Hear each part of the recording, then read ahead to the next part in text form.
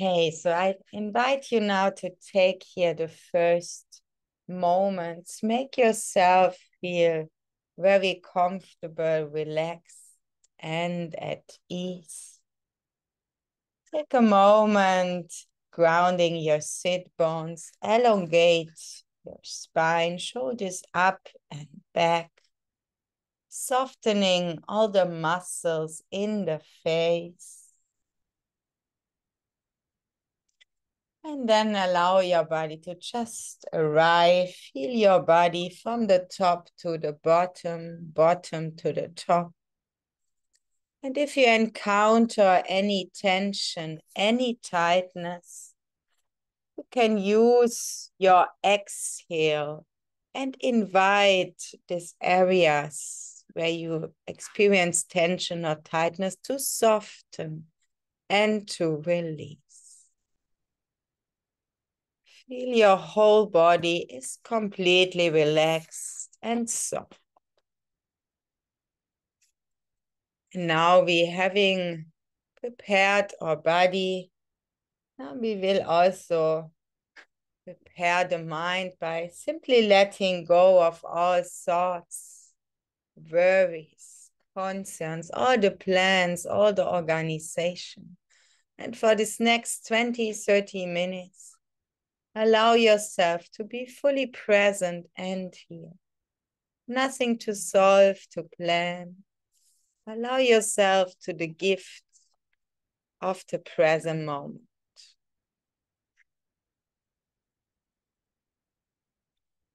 Now the mind has also a bit more arrived in the space. It can also set our motivation for today, for this practice, and first of all, rejoice. Feel really happy about that you are made it here, that you are now trying to meditate, and this is what really matters. So, sorry, mentally clap yourself on the shoulder, feel happy that you engaging now in this practice. And within that joy and happiness now, we can set our motivation for this practice this morning by just acknowledging a moment, all the preciousness of this moment that we have an insight and body, kind of the healthy mind to practice. So, so many special causes and condition coming together, allowing us to work. How precious that is. So, feeling happy about it our own efforts and all the outer efforts. And we also gonna do this practice not only for ourselves, we from the beginning making this practice uh, beneficial for all the world around us, for each and every sentient being. May all of them be benefactors of our practice this morning.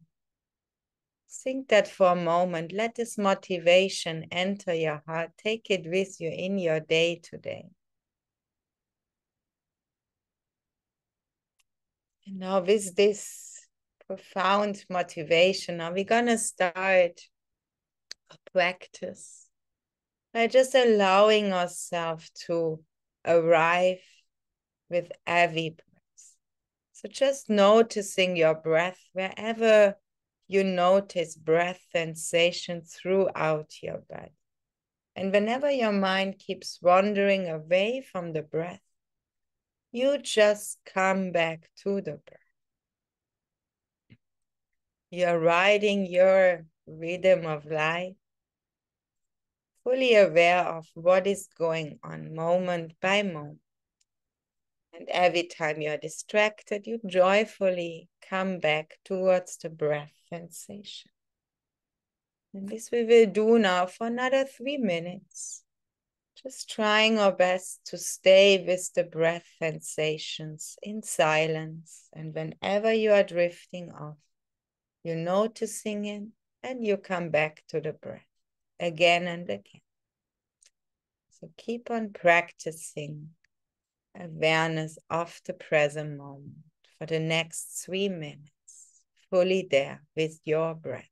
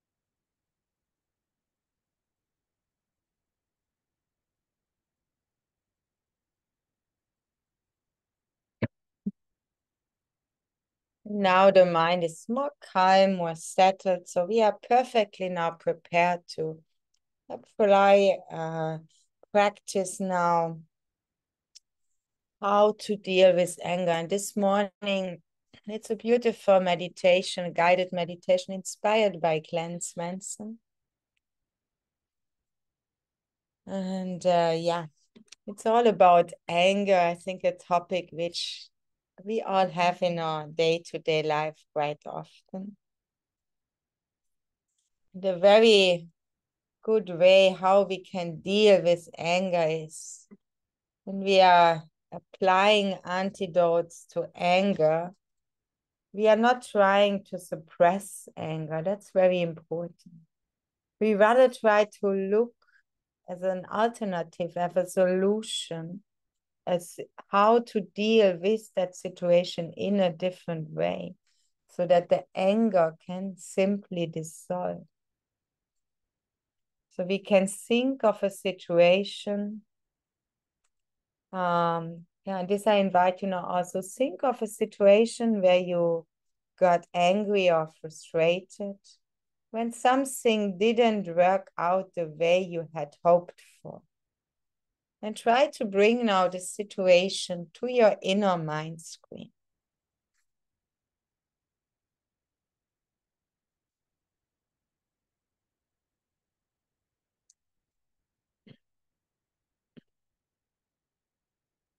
And now, if you have kind of faced the situation back, now you can ask yourself could I have done something about that situation? So just ask yourself in that situation where you were um, visualizing, where you remember it, ask yourself, could I have done something about that situation?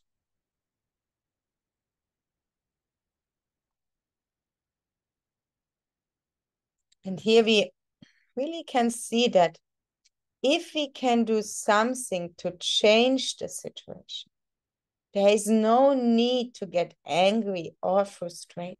Then we can simply make the change, isn't it?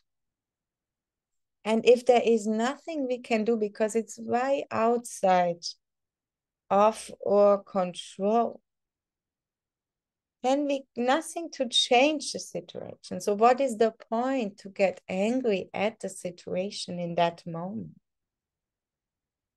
Just think about that for a moment.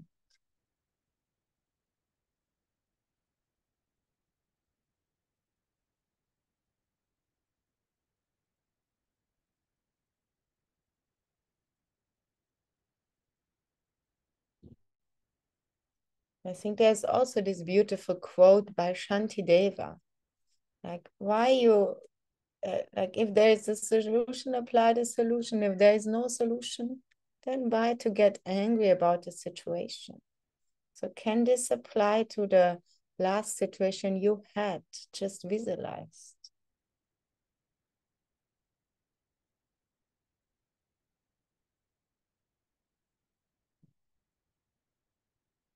Hmm, relieving. And then there is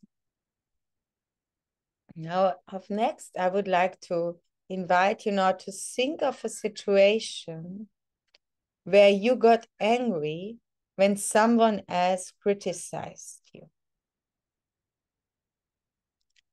And also try to bring the situation quite clearly to your mind. Last time when someone criticized you.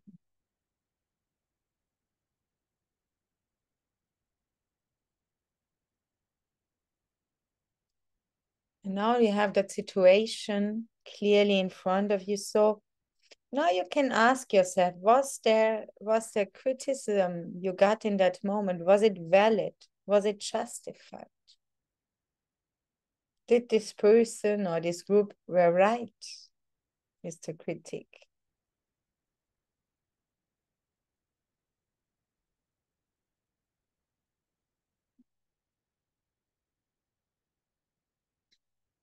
if what they say was true when you get criticized.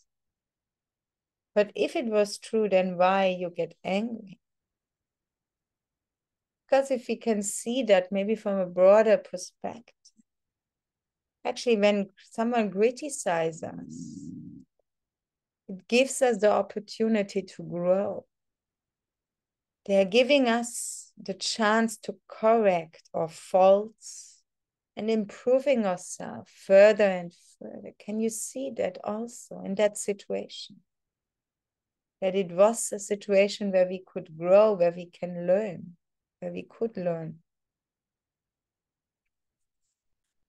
And if it was untrue what they said in that situation, since it's completely not the truth, it's wrong, then there is no reason to get angry about it. Can you see that? Can you get an insight from that understanding? That either if mm-hmm. it's true, then there might be some shortcomings they helping us to grow. But if it's completely untrue, then also no reason to get angry because they are wrong.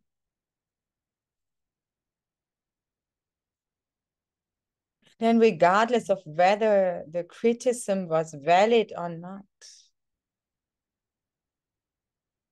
for of all, they gave us the opportunity to provide us to develop patience, one of the six perfection in Buddhism.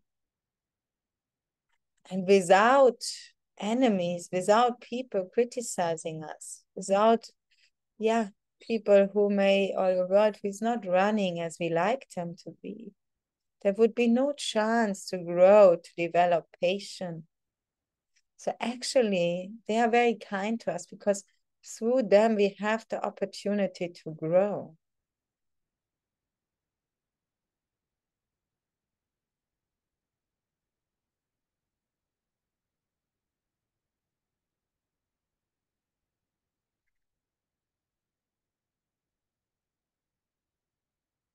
Mm. now we can go even one situation further now. I'd like invite you to think of a situation where you get angry in a conflict with another person. So also bring this situation clearly to your inner mind screen. Just a recent situation, I guess, works very well if you can. And now, instead of looking at that situation from only your perspective, now assume the perspective of the other person. So see if you are literally able now to get into the shoes of the other person and try now to imagine how would the situation look from their perspective. Can you do that? Just look at the situation from the other person points of view. And here we want to try to understand their viewpoint so we can see that it's just like us. Because finally, whatever is their point of view, they also, they just like you, they want to be happy and they do not want to suffer. But due to their confusion and disturbing emotions, they are creating a lot of suffering for themselves and those around.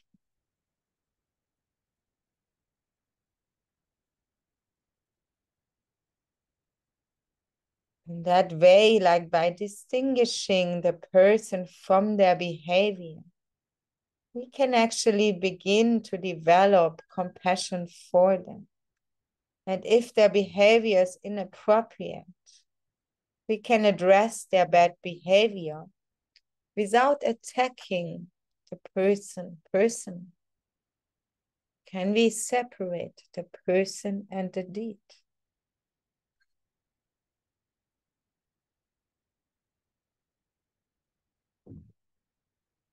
Can you make a distinguish between there was a wrong deed and a bad person because bad person does not exist.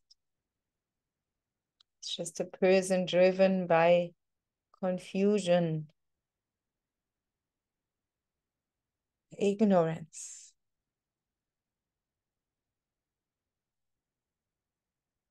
Now I want you to think of a situation where you often get irritated or frustrated. What makes you irritated easily? What brings out frustration in? And allow the situation of your recent frustration to just come up quite clearly so you have an idea of the situation.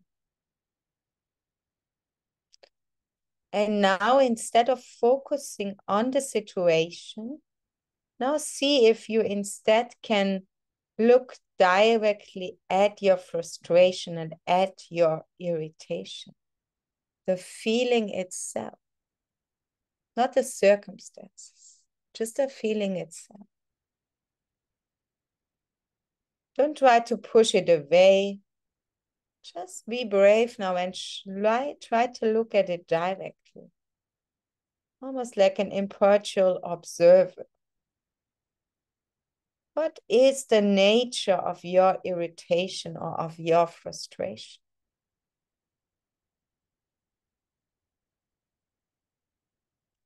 Is it something solid or concrete? Or is it something that continues to change?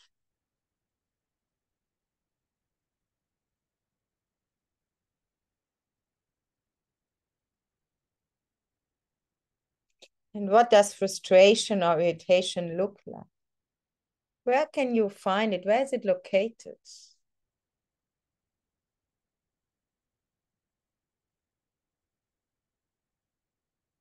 And we can see that if we simply look at the irritation or frustration directly at the feeling, it will simply dissolve. No, isn't it?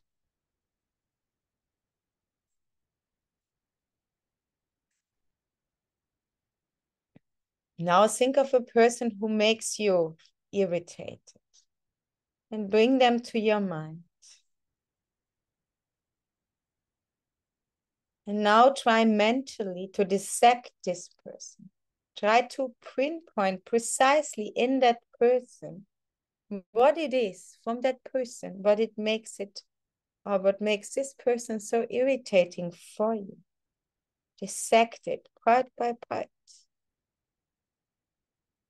What is it that is so irritating about? Maybe there's something that they say, it's irritating a particular word they are using, but actually words are just sounds. So which particular sound is irritating? Or maybe it's some behavior, action that is irritating, or an action, a physical action they do. And it's simply but even if it's a physical action, what is physical action? It's simply a movement of their body. So watch at that person, which particular movement of their body is irritating you.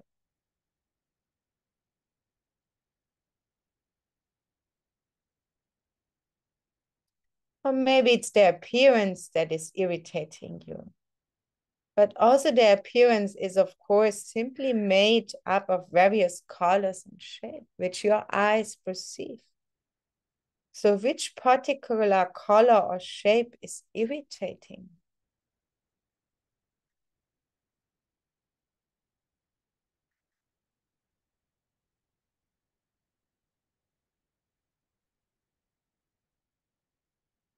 When we search in this way, we can see that it is our mind that is creating the irritating person by interpreting the situation in a specific way and then applying the label of irritating or annoying.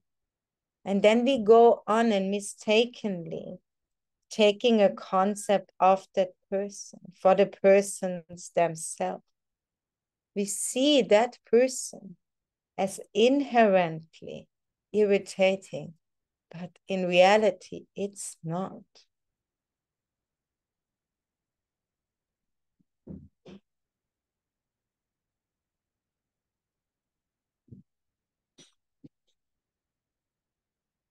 And now see if you can, after all these contemplations, if you can come to your own conclusion just going one more time to all the experience of these last moments together. How do you look at eh, anger now?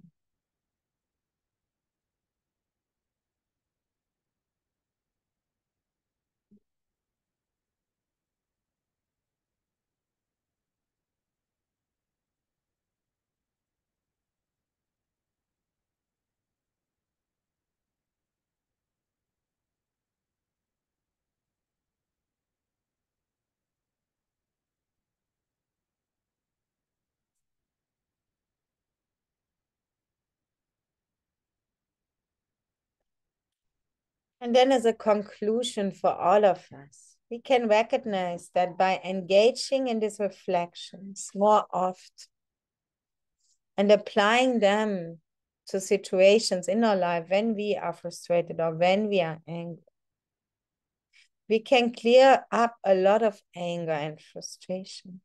And we can develop a much more healthy way of looking at things in a much more real reality point of view. And this will give a strong determination to work further and further on ourselves for the benefit of all sentient beings. In that way, don't get angry, get creative. I think that is beautiful words to say. That way, we can let go of all the thoughts and just for a few more moments again, resting with the breath sensations, just enjoying, observing the rhythm of the breath and releasing all thoughts very conscious and just being with the breath for a few more moments here in peace.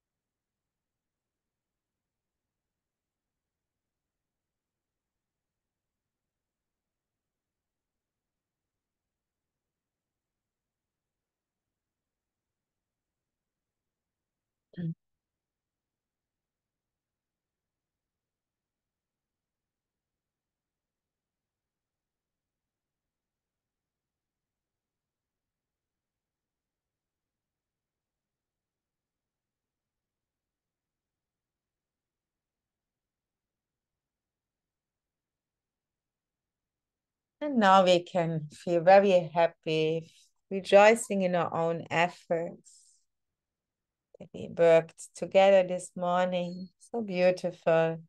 Feeling happy, joyful about our practice and dedicating out all the positivity, the virtue of this practice. May all sentient beings be benefactors of this practice. May this practice serve as a cause of the development of the everlasting peace and happiness in this world.